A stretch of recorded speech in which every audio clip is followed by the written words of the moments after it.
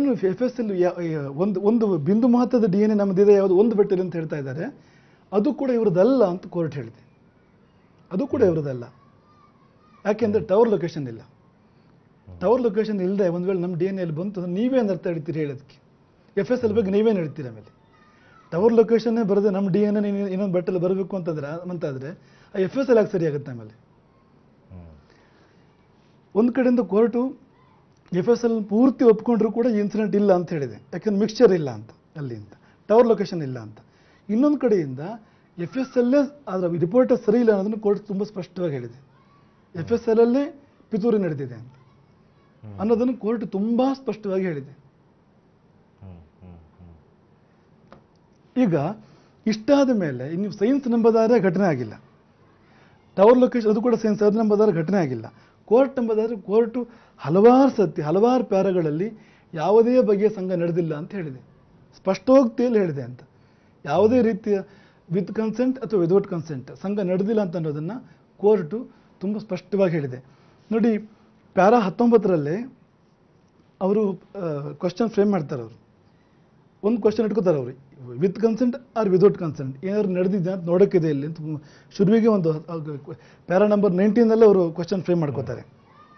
ಇಪ್ಪತ್ತೊಂದರಲ್ಲಿ ಹೇಳ್ತಾ ಇರೋರು ಯಾವುದೇ ಪುರಾವೆ ಕಾಣಿಸೋದಿಲ್ಲ. ಡಿಸ್ಚಾರ್ಜ್ ಮಾಡಬೇಕಾಗತ್ತೆ ಅಂತ. ಇಪ್ಪತ್ತೊಂದರಲ್ಲಿ. ಇಪ್ಪತ್ತಾರರಲ್ಲಿ ಹೇಳ್ತಾರೆ, ಇಲ್ಲ, ಇಲ್ಲಿ ಯಾವುದೇ ರೀತಿಯ ಸಂಘ ನಡೆದಿತ್ತು ಇನ್ಸಿಡೆಂಟ್ ನಡೆದಿತ್ತು ಅನ್ನೋದನ್ನ ಬಗ್ಗೆ ಯಾವುದೇ ಪುರಾವೆ ಸಿಗೋದಿಲ್ಲ. ಕೇವಲ ಮಾನಹರಣಕ್ಕಾಗಿ ಹಾಕಿದ ಕೇಸ್ ಇದು. ಕೊಡಚಾದ್ರಿ ಪಕ್ಕದ ಒಂದು ಗುಡ್ಡ, ಅಂಬಾರ ಗುಡ್ಡ. ಅಂಬಾರ ಗುಡ್ಡ ಇಡೀ ಗುಡ್ಡವನ್ನೇ ಮೈನಿಂಗ್ ಮಾಡಿ ಮುಗಿಸೋ ಪ್ರಯತ್ನ ನಡೀತು. ಮಠ ಅದನ್ನು ನಿಲ್ಲಿಸ್ತು. ಹೋರಾಟ ಮಾಡಿ ಅಂತ. ಹ್ಮ್ ಹ್ಮ್ ಹ್ಮ್ ಮೈನಿಂಗ್ ಲಾಬಿ ನಮಗೆ ಎದುರಾಯ್ತಾಗ. ಗೋಬಿಗಾಗಿ ಗೋವಿಗಾಗಿ ಹೋರಾಟ ಮಾಡಿದ್ವು. ಮೀಟ್ ಲಾಬಿ ಎದುರಾಯ್ತು. ರಾಜಕೀಯ ಹಿತಾಸಕ್ತಿಗಳು ಎದುರಾದವು ಅಲ್ಲಿ. ಗೋಕರ್ಣವನ್ನು ಉಳಿಸೋ ಪ್ರಯತ್ನ ನಡೀತು. ಗೋಕರ್ಣ ಒಂದು ಕೊಳಕಿನ ಕೊಂಪೆ ಆಗಿತ್ತು ಲೂಟಿಕೋರರ ಕೇಂದ್ರ ಆಗಿತ್ತು ಅದು. ಒಳ್ಳೆಯವರಿದ್ರು ತುಂಬ ಬಟ್ ಅವರು ಮೂಲೆ ಗುಂಪಾಗಿದ್ರು ಅಲ್ಲಿ. ಸರ್ಕಾರ ದೇವಸ್ಥಾನ ನಮಗೆ ಕೊಡ್ತು. ಮೊದಲೇ ನಮ್ಗೆ ಸೇರಿತ್ತು ನಮಗೆ ಕೊಡ್ತು ಸರ್ಕಾರ ಅದನ್ನು. ದೇವಸ್ಥಾನದಲ್ಲಿ ಟ್ರಾನ್ಸ್ಪರೆನ್ಸಿ ಬಂತು. ಸ್ವಚ್ಛತೆ ಬಂತು. ದುಷ್ಟಶಕ್ತಿಗಳು ಹೊರಗಡೆ ಹೋದ್ವು. ಒಳ್ಳೆಯವರಿಗೆ ದೇವಸ್ಥಾನದ ಒಳಗೆ ಹೊರಗೆ ಬಂದರು. ಕೋಟ್ಯಂತರ ರೂಪಾಯಿ ಲೂಟಿ ಹೊಡೆದ್ರೆ ಸುಮ್ಮನೆ ಇರ್ತಾರ? ಈ ಮೊದಲು ನಕಲಿ ಸಿಡಿ ಮಾಡಿದಾರ ಅವರು. ಇದಕ್ಕಿಂತ ಮುಂಚೆ ಪ್ರಶ್ನೆ ಇತ್ತು ಫೇಕ್ ಸಿಡಿ ಮಾಡಿದಾರ ಮಾಡಿದ್ದಾರೆ ಅವರು. ಇದೇ ಶಕ್ತಿಗಳು ಫೇಕ್ ಸಿಡಿ ಮಾಡಿ ನಮ್ಮದೇ ತದ್ರೂಪಿ ಸೃಷ್ಟಿ ಮಾಡಿ ಅಶ್ಲೀಲವಾದ ಸಿಡಿ ತಯಾರು ಮಾಡಕ್ಕೆ ಹೋಗಿ ರೆಡ್ ಹ್ಯಾಂಡಾಗಿ ಸಿಕ್ಕೊಂಬಿದ್ದು ಕೇಸ್ ನಡೀತಾ ಇದೆ ಇವತ್ತು ಹೌದು. ಆ- ವಿಷಯ ಅದರಲ್ಲಿ ಮುಂದುವರೆದ ಭಾಗ ಇನ್ನು ಇನ್ನು ಮುಂದಕ್ಕೆ ಇದೆ ಅಂತ ಬರೆದಿದ್ದಾರೆ ಕೂಡ. ಆ ನಕಲಿ ಸಿಡಿಯಲ್ಲಿ ಇದ್ರ ಬಗ್ಗೆ ಒಂದು ಪ್ರೆಫರೆನ್ಸ್ ಇದೆ ಅಂತ. ಮುಂದೆ ಈ ಥರ ತರ್ತೀವಿ ಅಂತ. ಹ್ಮ್ ಹ್ಮ್ ಹ್ಮ್.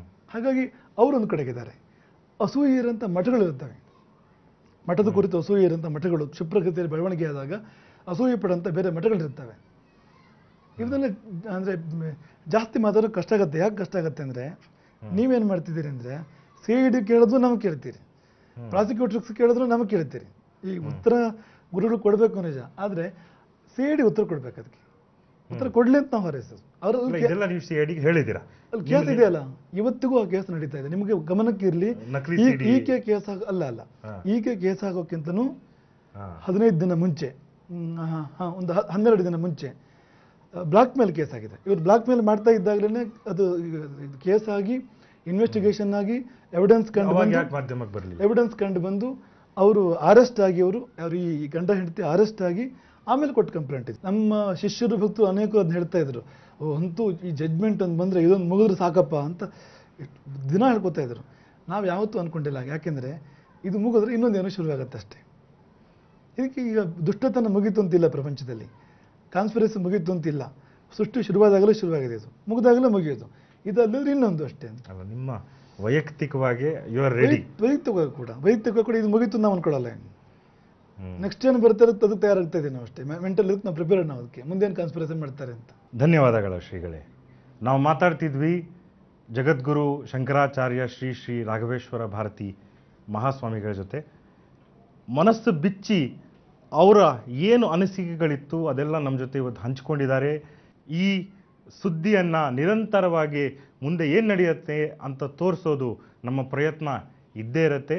ನೇರ ದಿಟ್ಟ ನಿರಂತರ ಸುದ್ದಿಗಾಗಿ ನೋಡ್ತಾ ಇರಿ ಸುವರ್ಣ ನ್ಯೂಸ್.